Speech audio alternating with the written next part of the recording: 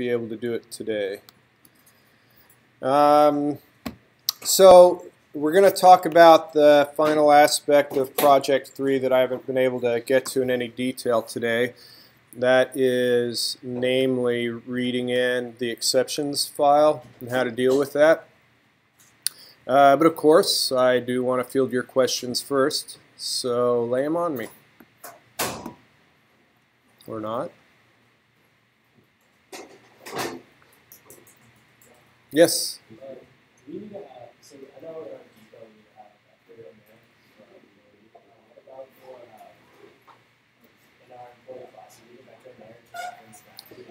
Uh, so the question is, knowing that there is uh, an employee, a vector of employee pointers in Depot, and the question whether any sort of vector needs to be an employee, is that correct? Yeah. Uh, there does not need to be a vector and employee, but as we'll see today, the employee will have a set, and that's to hold exceptions. So that's stuff, that's specifically what I'll talk about today.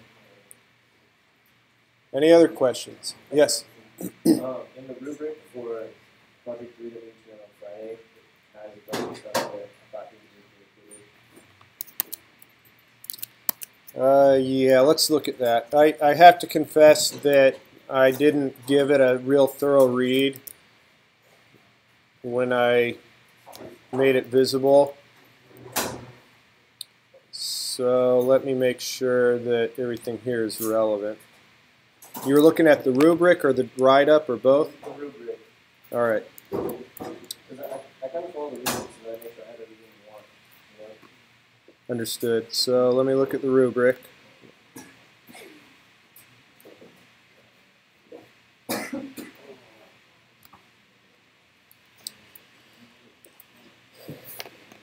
All right.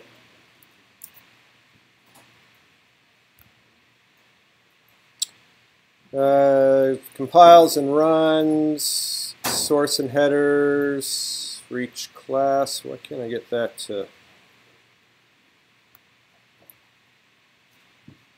Oh, I might, hang on. My computer's really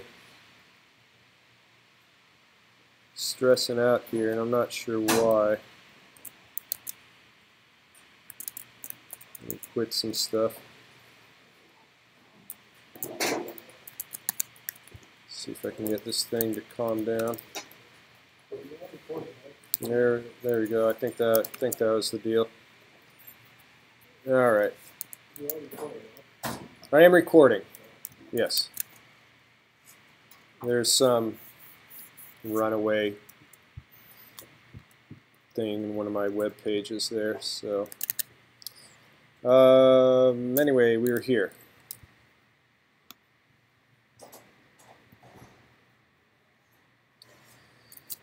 It compiles, it runs, separate source file and header files. Employee class has a set of integers as private data to store exceptions. I'll be talking about that today. Depot has a vector of employee pointers. Uh, talked about that last time. Uh, employee class has an add exception member function. Going to talk about that today.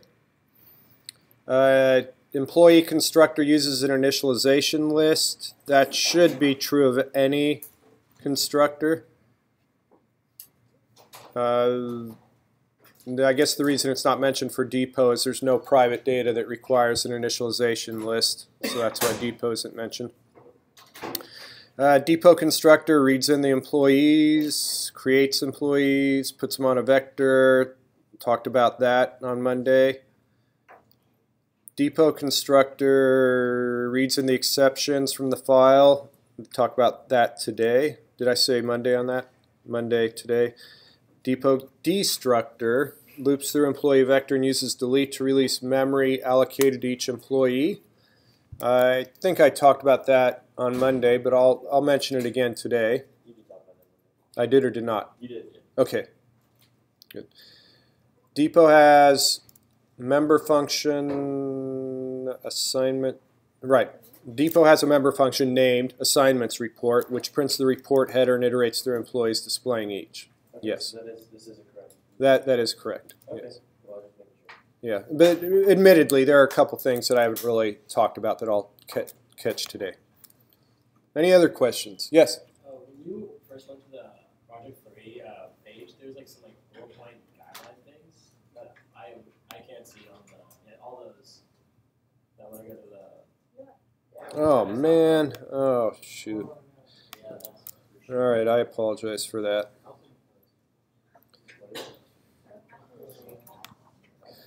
Yeah, the, unfortunately, this tool has like three different things that I have to set just right for you all to see it. And if I don't get all three, there you go. It'll be visible to you now.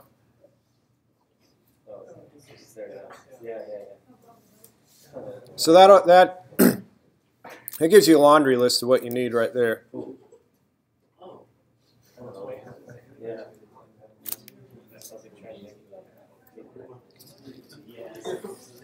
yeah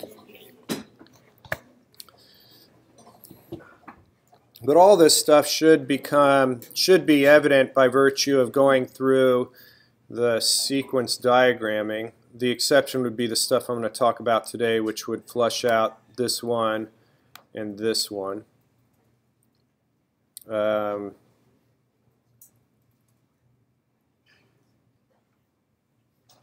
yep. All right. Any other questions?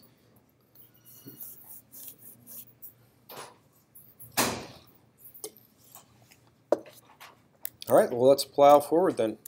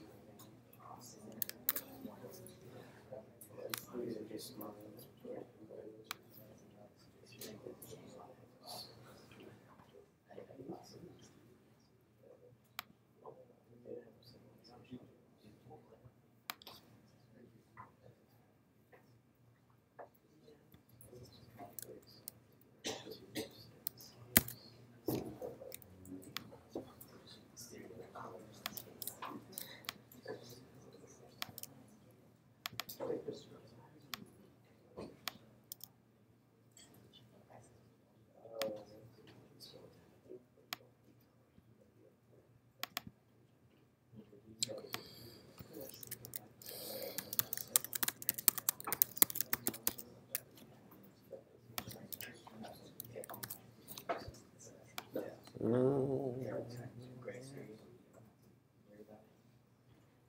Yeah, that looks about right.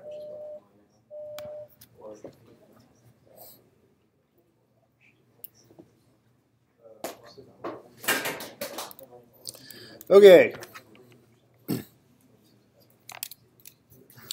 I want to erase.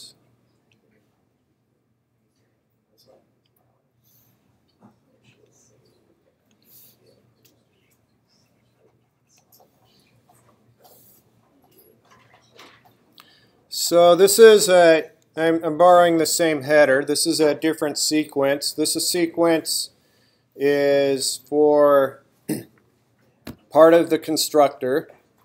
So I guess I should have left that arrow there. Let me do this. Let me, I'll stick with red. I'll put that there. And I'll can't write there, so I'll put a little arrow pointing to my arrow. And that is the constructor. So when you create depot, it's going to run this code. There's a whole bunch of code here that.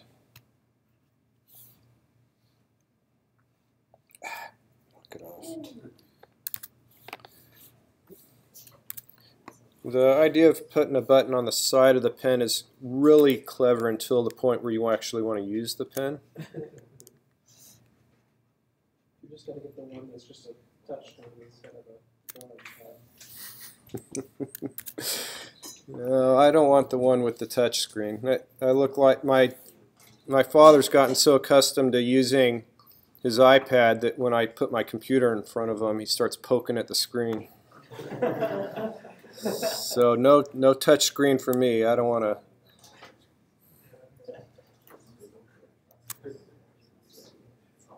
Didn't you hear? Oh, are they going to make the MacBooks with the touch screen? All right. Well, I'll be a luddite and not go into that. Um, all right. I, I need to actually pay attention to what I'm doing. That arrow has nothing to do with nothing. All right. So. I knew I needed an arrow, the, the first part of this constructor is, in essence, a bunch of stuff I did on Monday. So we have code to read in employees.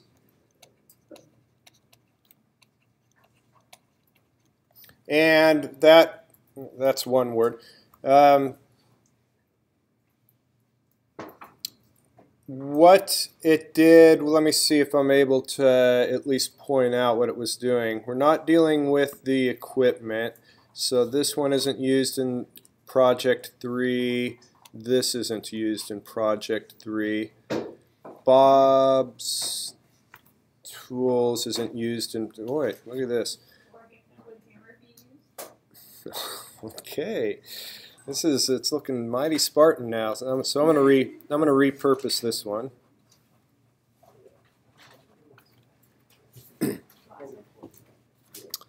And this will be Bob's exceptions. And this is a set. That's the kind of thing that it is. So there's a relationship between Bob and Bob's exceptions. I guess I started here trying to find stuff uh, that I did on Monday that I could kind of illustrate with arrows, but it looks like most of the stuff I need isn't on here. Uh, basically, it would be reading. There's a whole bunch of stuff here without arrows where I open up the file, I read in three fields, and then if, if I was to actually show it, what I'd do is I'd have I'd have notation here about reading in the file whatever made it obvious. And then I'd have uh, an arrow going here, which would be the create.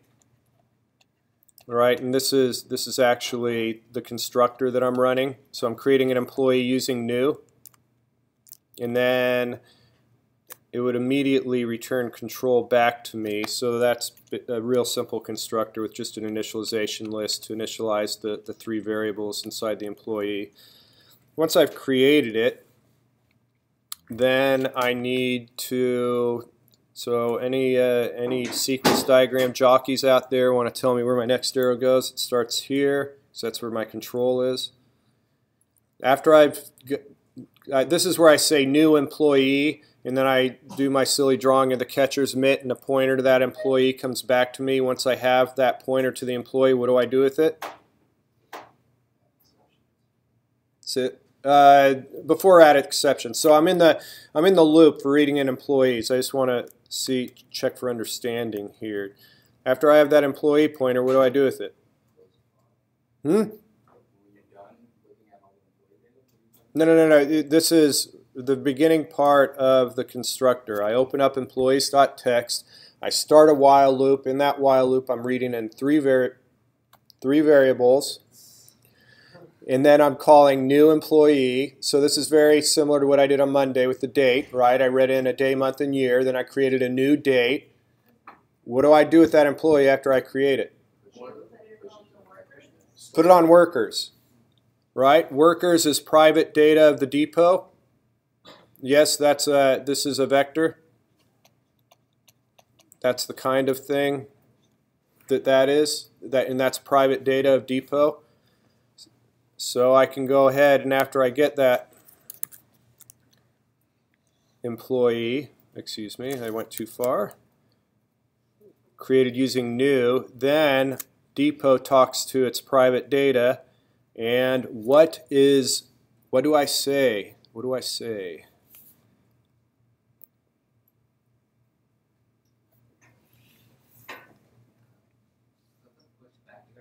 Pushback, exactly. Yeah, good. Push back.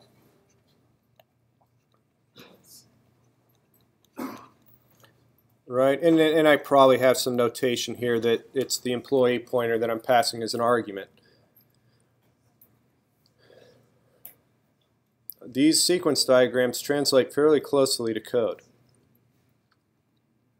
I'm sending, one way of saying this is I'm sending the pushback message to the worker's object. Another way of saying it more C++-esque is I'm calling the pushback member function of the worker's vector, something like that. But it translates to code as workers dot pushback in that pointer. Okay. Uh, it's going to do whatever it does under the hood. We neither know nor care. In fact, uh, you would never go to this much detail in a company for drawing a sequence diagram because the assumption would be that every programmer there was pretty fluent in the language and they had a very clear understanding that you're going to be adding this to the vector. So you wouldn't have to go through that trouble. Control comes back here and then this, this whole thing is in a loop. So what I'll do is I'll just um,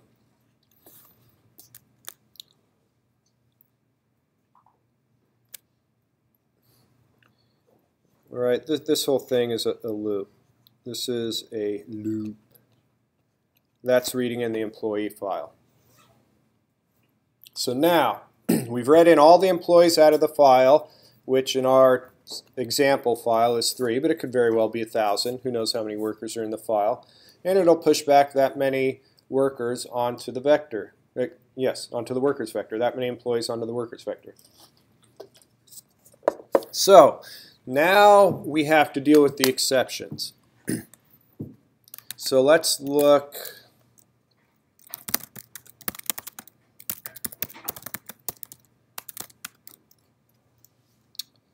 There it is.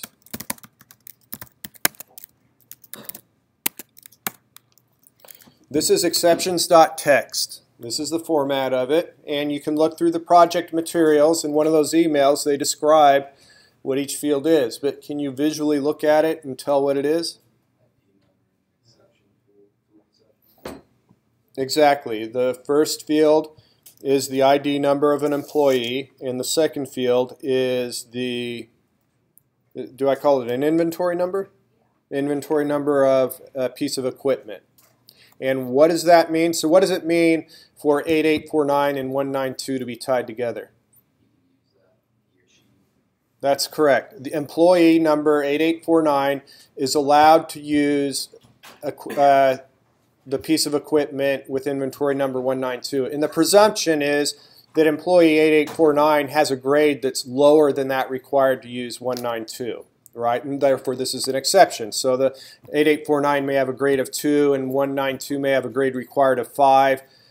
This is saying that this is an exception, and despite the fact that employee 8849 doesn't have the requisite grade, that employee is allowed to take that piece of equipment.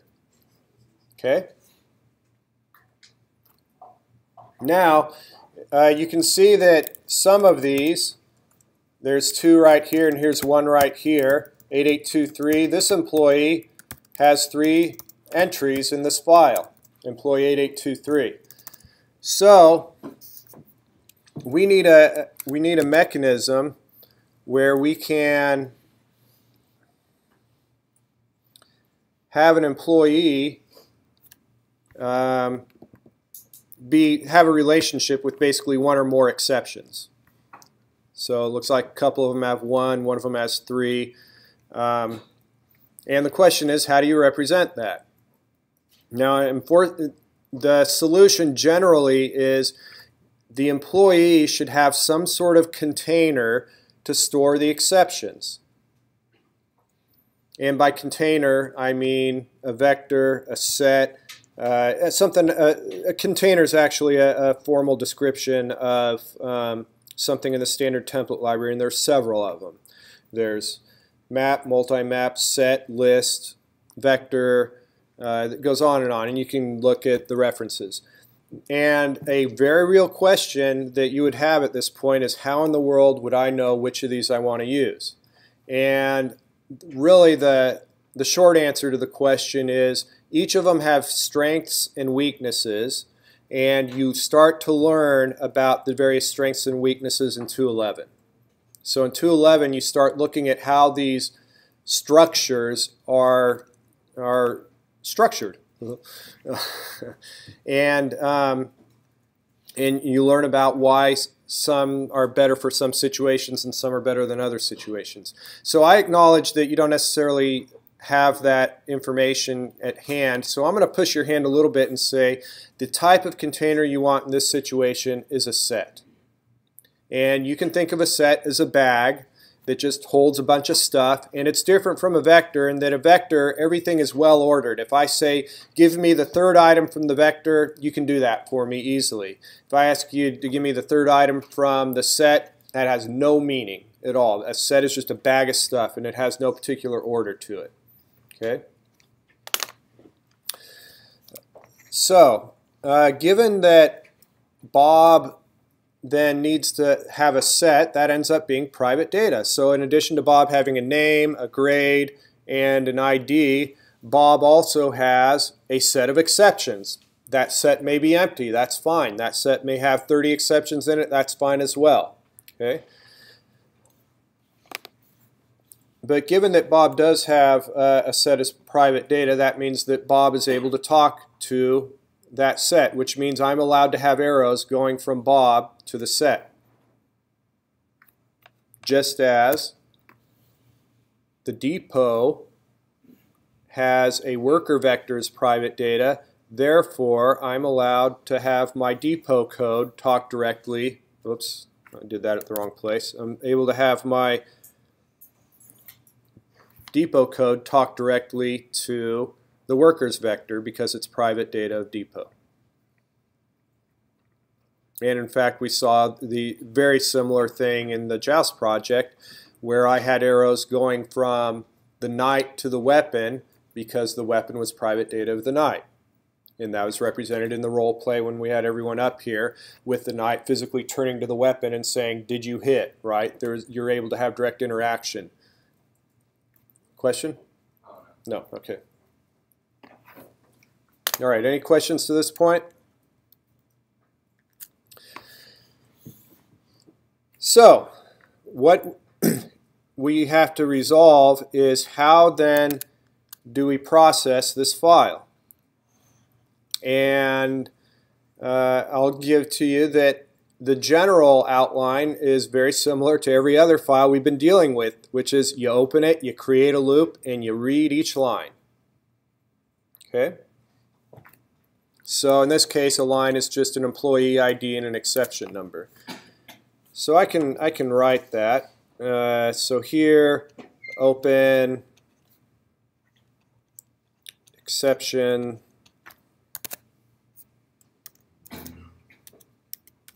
exceptions dot text then I'm going to have a loop. I'll go ahead and use consistent. Here's my loop. And in my loop, I'm going to read in uh, employee ID and inventory ID. So once I read in those two pieces of information, what do I need to do and how am I going to do it?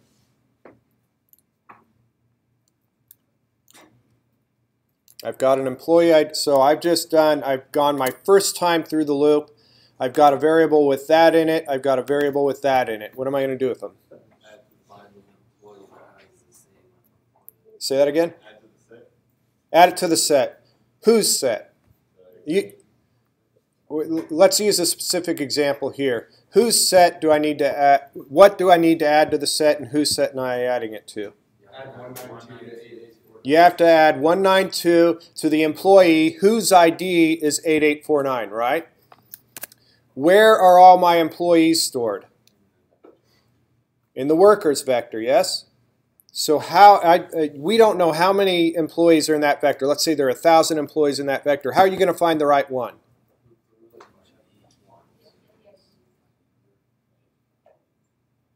What was that? If ID equals, okay.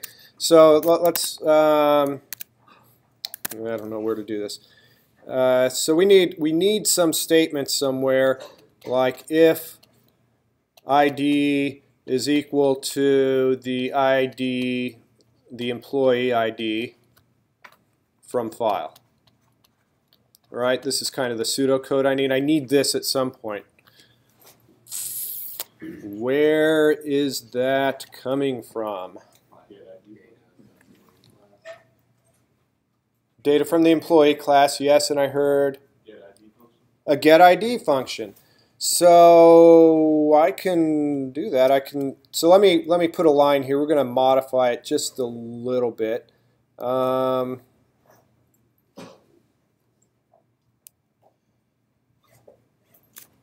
uh, I need a little more real estate. I'll put this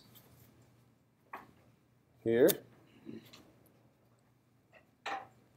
Something like this. Get ID.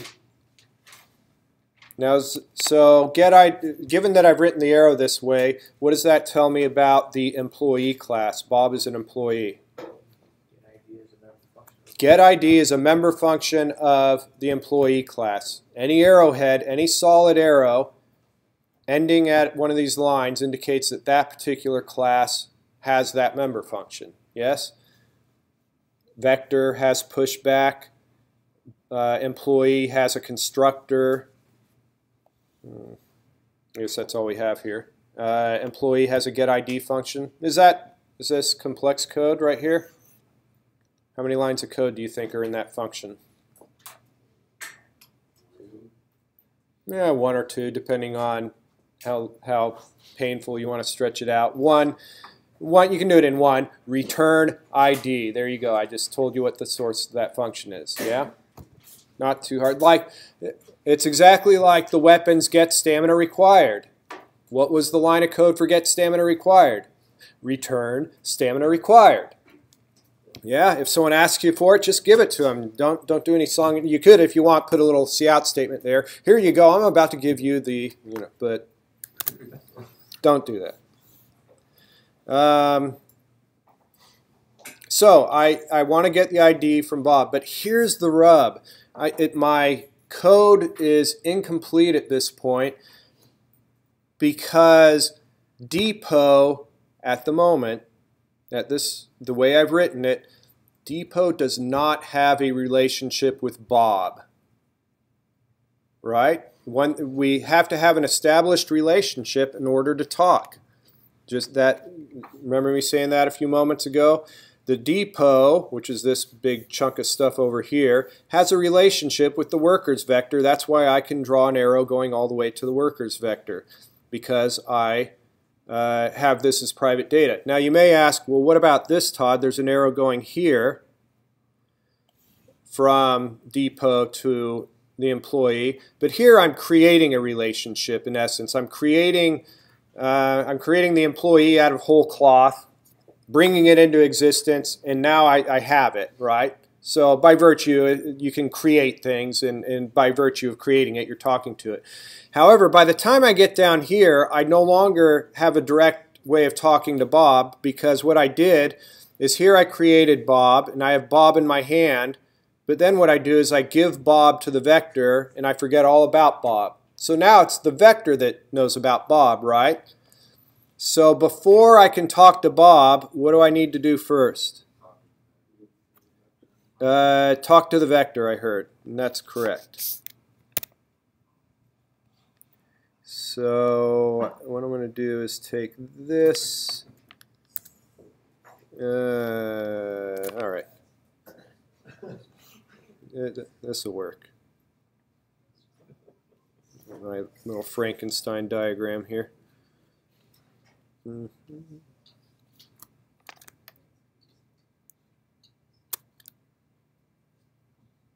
Little change in color on that one, that's all right. Spring, the spring fashions and sequence diagrams are coming out. Um, so I need to, I can talk to Bob only if I get Bob from the vector. How am I going to get Bob from the vector? Give me the general strategy. How many, Is Bob the only thing in this vector? No, there are a bunch of them. So I can't get them all at once. I have to get them one at a time. How do I get things one at a time out of a vector? You just loop through it, yeah? If you want to display them, you loop through it, ask each one to display. If you need to access each one and get their ID, you got to create a loop. So, um, I guess I'll use this. I need another, so here's an internal loop inside of this big green loop. I got to make all my, I apologize for Toto vision here. It's, um, but I, I have an inner loop inside of this outer loop. The outer loop is in green, the inner loop's in this light gray. This outer loop's the big while loop for reading in the file, right? Read in an employee ID and an inventory ID, it'll loop back up, read in another employee ID and an inventory ID. So the question is, once I have the employee ID and the inventory ID, what am I going to do? I'm going to create another loop, and I am going to loop on workers.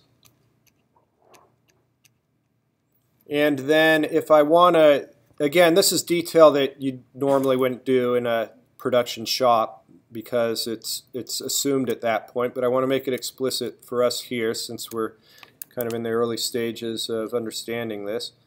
Oh, come on. There we go. I want to talk to workers and uh, maybe I'm doing, maybe I just do not have enough real estate. I'm going to put it right here. I want to get the ith item. And then it's going to dot, dot, dot, dot, dot, dot, dot. It's going to come back to me. And once I have it here, the ith item is Bob. Now I can talk to Bob. Right? And the next time through the loop, the ith item is going to be Jane, and that's going to, I'd have to draw another box and have Jane out here, and I'd talk to Jane the second time around.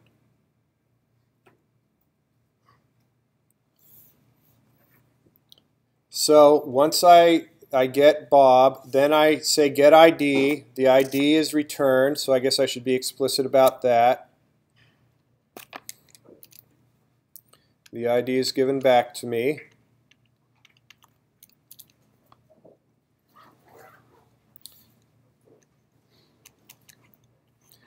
And once I have the ID, and now I'm I think I can move this. How does this work? I can move it over here. Oh, yeah, little drawn ninja. Uh, green.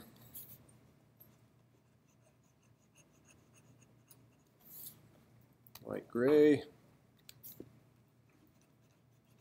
Give me a little more loop here.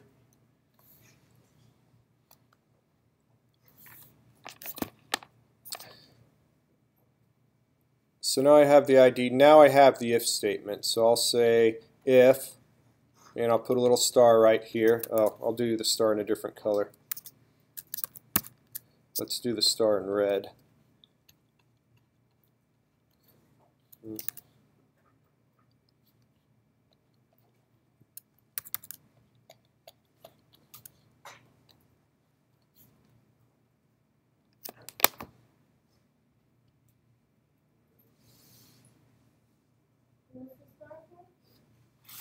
The star means please refer to the text at the star. So your eyeball goes up here and goes aha.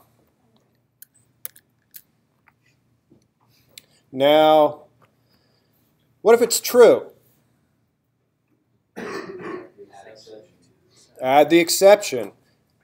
So who do I talk to to add the exception? Yes, employee. The specific employee is Bob. So I'm going to start, I'll use my made up little sequence diagramming language here. If it's true, then I'm going to talk to Bob and I'm going to say add exception. And this would be the ID from file.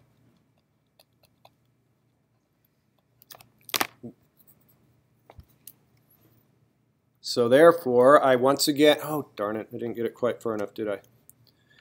Hang on.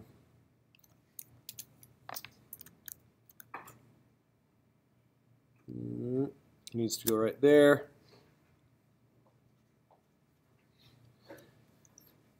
So I tell Bob to add this exception to your set of exceptions. When Bob is asked to do that,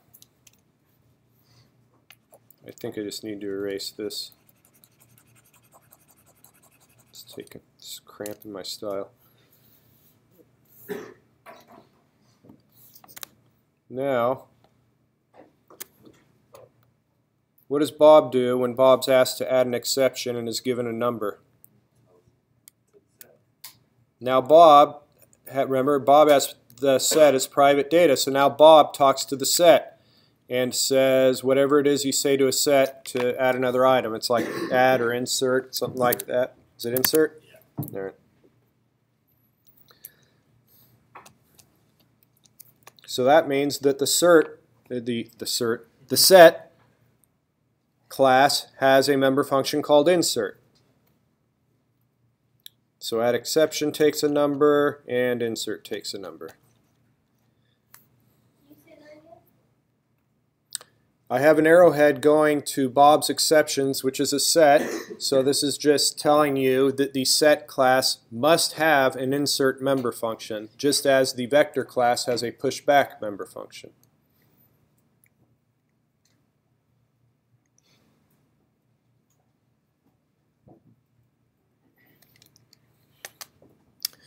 And then it's a little incomplete. I've got a dashed line coming back here. I have a dashed line coming back here. Excuse me, this has to, I need to be extending these loops a little bit, but then that ends that inner loop.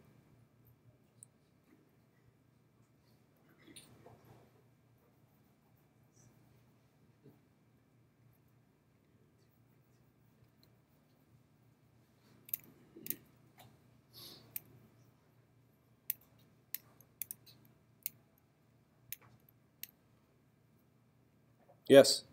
So this will be part of what we turn This will be part of what you turn in, yes. This is part of Project 3. Now the interesting thing is, so you have to add the exceptions to uh, Bob's set of exceptions, or generally the employee exceptions, right? You have to read in that file and get the exceptions in the right place. But we don't do anything with them in this project. They don't display in the report. There's no processing. You basically just fill those exceptions up and then we use them in Project 4. Yes? So then how would we check like the syntax is? Uh, what I would do, so if I was to write test code, what I would do is I would, um, what I'd probably do is, well, it's a good, you know, there are a number of ways of doing it. So here's one way of doing it. Uh, I would create a member function in Depot called sanity check. And what sanity check would do is print out a bunch of statistics to me, a bunch of cout statements. And so I, then in my code, right, if on Monday I showed what main looked like, it was depot D and the D dot assignments report. I might, between the two, at least while I'm testing, I'd put in D dot sanity check. And I'd look at that output. And what I, the sanity check function would do is I would have it loop through the employees, and I might I guess I'd have a sanity check function for the employee as well. And what the sanity check function for the employee would do is maybe print out how many items are in the exceptions set, maybe print out the employee ID and how many exceptions they have. And I'd hope to see something that looks similar to this, where it would print out 8849 and say 1, 8823 would say 3, because I have 1, 2, 3 exceptions for that employee, one exception for this employee, um, and confirm that those numbers match up with what I have in the file. So that that'd be one way of testing it. And I, I and actually, you know, that's a, a, very excellent question, and I can't emphasize enough how you have to be writing test programs all along the way, uh, just like that. There's a tremendous as a as a software engineer, there's a tremendous amount of code that you write that you end up throwing away because you just need it temporarily to test something. Uh, this do, it does. Uh, that being said, there are actual methodologies uh, like uh, TDD, test-driven development, where what you do is you write a little bit of test code and then you stub out everything, and so the test code fails right off the bat, and then you have to basically write all the code for this until your test succeeds. And then you go, okay, what's the next functionality I need? Well, I need to add exceptions to employee. Okay, let me write some uh, test code to check it. And then so what I'd do is I'd stub out the sanity check functions, and then I'd have to actually write in the sanity check functions, make sure it all works. And uh, so there is actually a method of development where you write little tests and then write code to make the tests work. Um, but it just goes to show that writing tests to make sure your code works, tests that aren't in the final application, is a very real part of software development. And that's why you see me whenever I'm writing code up here. That's why generally you see me quitting out of that editor every two to three minutes to compile just to make sure everything's working. Yes? Um, when you said that, um, back to the diagram, when Bob talks to the set, um, and inserts, is it inserting into the workers? No, it's inserting to where the arrowhead goes. The arrowhead is going to Bob's exceptions, which is a set. So Bob, so Bob's at Bob's add exception member function is inserting into his private data, his set called exceptions.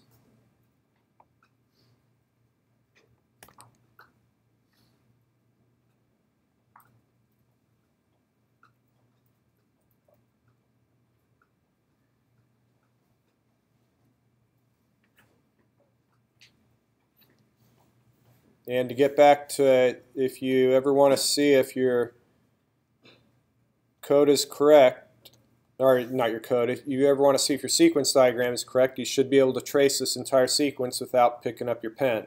So I call a function, it returns, I call a function, it returns, I do a bunch of stuff. It's hard to do this with loops, but at least one iteration of the loop. I do this, it returns, I get the ID, it returns, I do an if, if that if is true, I jump down here, I jump down here, I come back, I come back, and I never had to pick up my pen. Okay. And that's how a computer program works, right? Go back to, eh, to take an easy example, go back to uh, assignment three with the red light, green light thing. You should be able to, with your finger, look at that source code, and you should be able to go from the beginning of it to the end of it. And in the later assignments where you add functions, Here's a function call. I come up here, I call the function, then I come back to the beginning, right? There's one flow of control. Nothing just nothing's detached. You should be able to follow your program from beginning to end, regardless of complexity.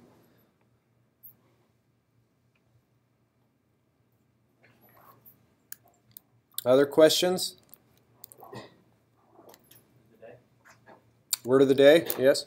I do want to make uh, one editorial statement is that uh, that is very exciting to me, and that is that I've seen a tremendous, this class really more so uh, than other classes has been very collaborative. There's been a lot of public announcements about meeting in the library to kind of hash through stuff. I just want to give you the, if I had three hands, I'd give you the triple thumbs up.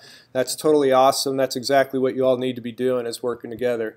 Um, not only because it, it helps your understanding with this stuff, but also because for those of you who are computer science majors, uh, you're going to be in a lot of the same classes for the next two to four years, and uh, it's really good at, at uh, building some relationships for getting through the classes moving down the road. So hats off to you for doing that.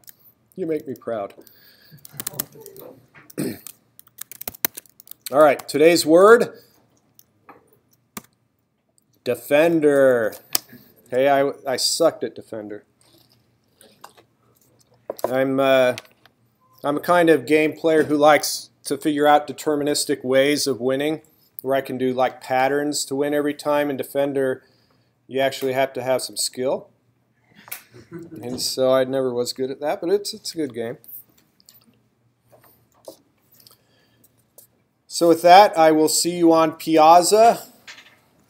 And I'll see the Tuesday, Thursday lab tomorrow morning.